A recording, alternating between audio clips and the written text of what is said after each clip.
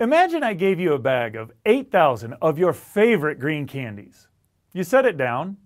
10 minutes later, you look and find that 4,000 of those candies have turned red. After another 10 minutes, you look again and find that half of the remaining 4,000 green candies have turned red.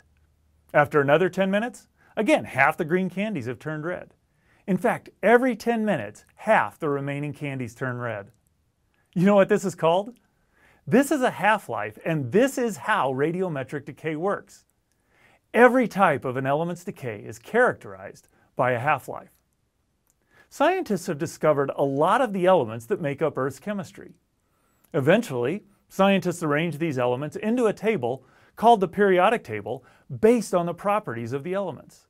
One of the primary features of an atom that determines where it's located on the periodic table is the number of protons it has. In their studies, scientists learned that some elements will change from one element to another, causing the number of protons and or neutrons to change. We call this radioactive decay.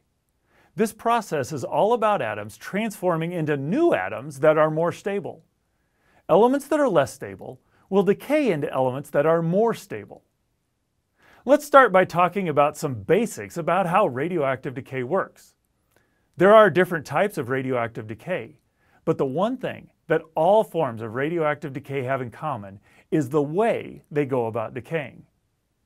Just like our example with the candies, as an element decays into something else, the ratio of elements that are present changes over time. Radiometric dating is all about calculating an age based off this ratio. For example, when uranium-238 decays, it changes into a more stable element. In the process, 32 protons and neutrons change into helium and evaporate, which leaves 206 remaining. The element with 206 protons and neutrons is lead. So the amount of lead atoms increases as the amount of uranium decreases. Measuring this ratio is a key to measuring the object's age. In order to figure out how long an element's half-life is, scientists had to record how fast elements decay. And these results have become available for other scientists to use. Here are a few examples. The half-life of carbon-10 is about 19 seconds. The half-life of sulfur-35 is about 88 days. Titanium-44 decays with a half-life of 60 years. The half-life of carbon-14 is 5,730 years. Uranium-238's half-life is 4.5 billion years. Scientists measure different elements different ways because some are solids, some are liquids, and some are gases. But what we all need to know is that all radiometric dating techniques rely on predictable decay rates. Now, you might wonder, how can we measure something that has a half-life of 4.5 billion years? To explain this, let's use a simple analogy.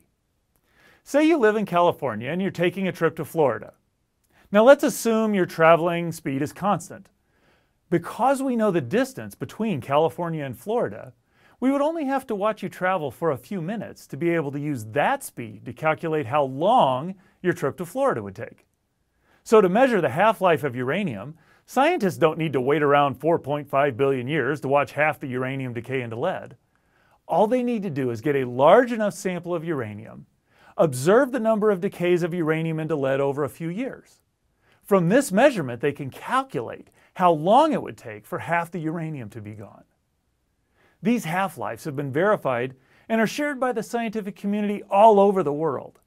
They are now used as a type of ruler to measure age, in much the same way that elements have been organized by their proton count on the periodic table. It is a commonly understood and validated organization of measurements. The periodic table of elements and this table of half-lives work together and are both well-validated systems of measurement. Some Christians may think of decay as a bad thing or as a result of the fall of Adam into sin. But when we look at it more closely, we can see that radiometric decay is a natural part of God's original design for His good creation. It provides us with a powerful tool to study the amazing record of God's involvement in creation.